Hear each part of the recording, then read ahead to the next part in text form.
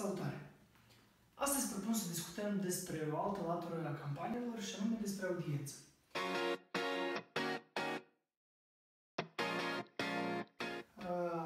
Vrem să menționăm că atât bugetul cât și audiențele fac parte din uh, elementele de bază în crearea unei campanii.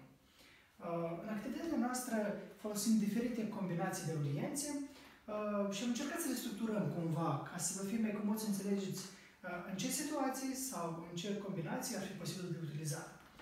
Uh, și le clasificăm în felul următor. Primul tip de audiență, care vă propun să-l notați sau să încercați să-l testați, este legat de formula de redistribuire a bugetului. Dacă vă amintiți, discutam despre o redistribuire 10-70-20. Cine nu înțelege despre ce vorbesc, priviți videourile anterioare. Uh, în contextul de redistribuire a bugetului dat, noi numim așa procedură complexă, da? Deci este primul uh, format, uh, audiențe complexe. Uh, este atunci când noi încercăm să lucrăm cu audiențele, uh, întâi în prima fază uh, identificăm, uh, în prima etapă identificăm uh, targetul general, care maximal este posibil, după care 70% din buget când dăm, în baza lui se selectează la al doilea uh, etapă altă audiență, în etapa a treia noi lucrăm cu audiență de remarketing, adică aici sunt niște lucruri în care trebuie să analizați fiecare etapă și uh, formați audiența complexă. Uh, important lucru că între nivelele despre care le discutăm se poate de combinat și uh, lucrul cu audiențele, dar și în general în digital, în social media, nu este uh, bătut în cuică. Uite, așa. Uh, testați.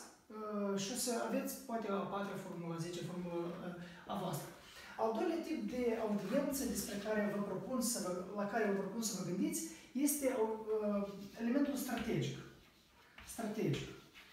Mie îmi place foarte mult acest tip. Uh, aici discutăm despre bază de date. Uh, bază de date. Facebook permite ca în audiențe în categoria audiențe personalizate să încărcăm baze de date, ori să sincronizăm cu CRM-ul nostru. Baza de date poate fi diferită. Voi puteți să aveți o bază de date cu clienții care au cumpărat de la voi ceva. Voi puteți să aveți o bază de date cu persoanele care, nu știu, au fost la expoziție, v-au lăsat datele de contact și voi știți despre ei câteva detalii. Voi puteți să aveți o bază de date, nu știu, cumpărat a persoanelor maximal targetate pentru voi. Important lucru că voi trebuie să știți ceva despre baza de date. Ca ulterior, anunțurile pe care voi să le creați, ele trebuie să fie maximal relevante pentru audiența despre care noi discutăm. Uh, și baza de date, uh, de ce zic strategică? Pentru că uh, posibil va fi foarte relevant anunțul clienților voștri. Uh, Baza de date la fel poate fi multiplicată prin audiențe asemănătoare, prin audiențe uh, asemănătoare și astfel, dacă o să uh, luați baza voastră de date, spre exemplu, aveți anual au cumpărat 1000 de clienți. Vă știți precis că în anul 2016 de la voi au cumpărat 1000 de clienți. Voi aveți despre el, uh, despre acești clienți aveți uh, nume, client, e-mail, telefon, uh, de unde este din Moldova sau pe regiuni Chișinău, Văl, Soroca, uh, voi aveți ceva date despre ei. Uh, după care uh, voi, având datele acestor clienți, încărcați baza de date, Facebook va identifica și va găsi acești clienți. Spre exemplu, o să vă găsească vreo 800 de clienți în Facebook. Clienții ăștia o să găsească în Facebook. Luați baza de date de 800 de clienți, prin audiențele asemănătoare, voi vă mai creați o audiență, acolo este așa o procedură de la 1 la 10 probabilitate de asemănare și voi vă puteți face de la 7, 8 mii până la 30, 40 de mii încă de contacte care seamănă cu clienții voștri. Deci puteți face două seturi de reclame în uh, formula de audiență strategică. 1. Clienții ferbinți, ori clienții despre care știți precis ceva. 2 de clienții ăștia îi uh, dublați sau le găsiți audiențe asemănătoare. Și atunci o să mă numărați converse. Uh, al treilea tip, al treilea tip este unul creativ. uh, este un creativ, el necesită un pic mai mult timp, el necesită un pic de analiză. Uh, elementul creativ sau audiența creativă, cum o numim noi, se bazează pe instrumentarul de business manager, um, statistica audienței sau audience, audience insights, statistica audienței.